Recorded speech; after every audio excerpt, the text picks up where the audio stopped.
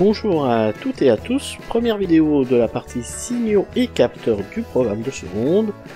Et dans cette vidéo, je vais parler de circuits électriques. L'objectif de la vidéo est de poser les bases pour les circuits électriques, quelques rappels du collège, un peu de vocabulaire et des conventions d'écriture.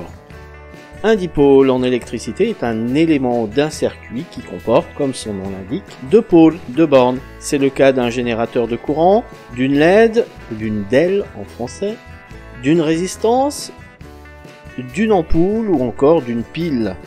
Mais ce n'est pas le cas d'un transistor qui lui comporte trois bornes. Avec ces différents dipôles, je peux créer un circuit électrique en reliant les dipôles les uns aux autres. Ça, c'est ce qu'on peut faire au laboratoire. Par contre, on ne va pas dessiner un circuit électrique en dessinant les dipôles, on va les schématiser pour créer un schéma. Chaque composant a son schéma normalisé et on représente les fils par un trait. Ce schéma permet de modéliser le circuit électrique pour que par la suite il soit plus facile d'y réfléchir et d'y appliquer différentes lois sur ces circuits. Passons à une partie vocabulaire et convention d'écriture. Comme vous le savez déjà, pour brancher plusieurs dipôles entre eux, il y a plusieurs possibilités. La première possibilité, c'est de les mettre les uns à la suite des autres. C'est ce qu'on appelle une association en série. On peut également brancher les dipôles par leurs deux bornes. C'est ce qu'on appelle une association en dérivation. Et bien entendu, on peut mixer les deux, comme c'est le cas ici.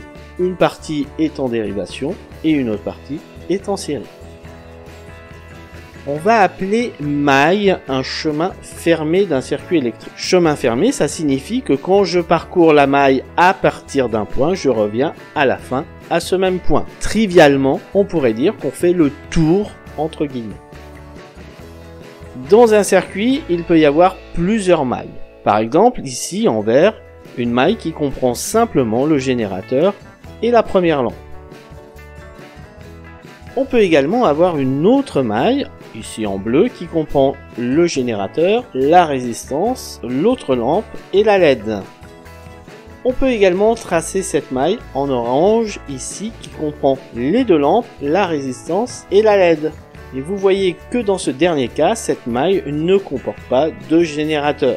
Une maille ne doit pas comporter obligatoirement un générateur, une pile ou une source de courant.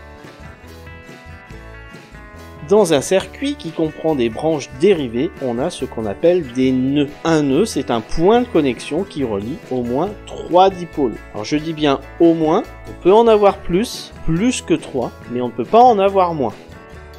On parle de circuit électrique, c'est l'occasion de se rappeler deux grandeurs importantes. La première, c'est la tension. C'est une grandeur qui va caractériser la différence d'état électrique entre deux points d'un circuit. L'unité de la tension électrique est le volt, de symbole V, V majuscule. L'unité est nommée ainsi en l'honneur d'Alessandro Volta, scientifique italien, qui a travaillé sur les notions de courant électrique et qui a inventé la pile.